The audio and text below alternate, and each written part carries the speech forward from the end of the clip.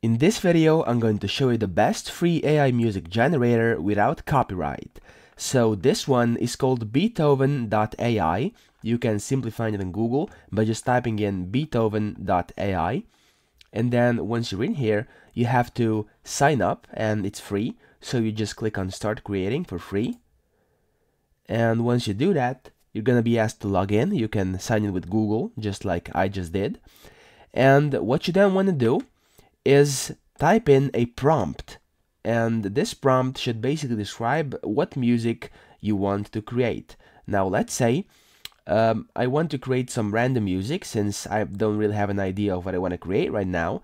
You can either write something yourself or click on generate a prompt and it's gonna automatically fill in uh, a random prompt that's gonna tell the AI to create a certain type of song. As you can see, it says, construct a feel-good indie folk song celebrating the beauty of nature and simple pleasures. Now, let's say I want to go with that. You just simply click compose track. And then it's going to start creating your track. Now, this does not take very long. There we go. Okay, so it's fetching, and now that's it.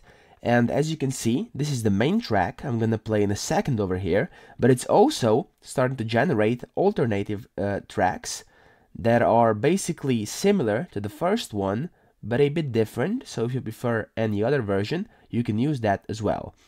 Now, as you can see over here, the instruments are the following, and the genre is indie, and the tempo is currently medium. Now let's play what it uh, made up.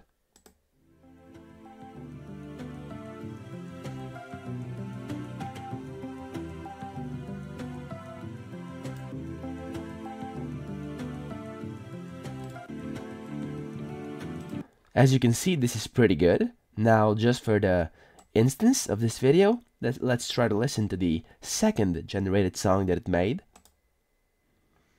And let's see what that sounds like.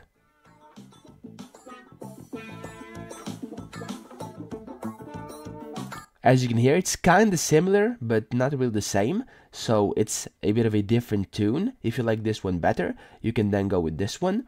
And let's hear the third one as well.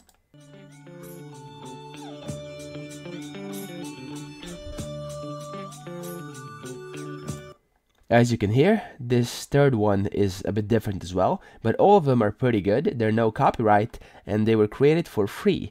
Now genre can always be edited in here, you can just press edit, and then just click on one of those. You have rock, Indian, pop, ambient, indie, R&B, cinematic, hip-hop, and electronic.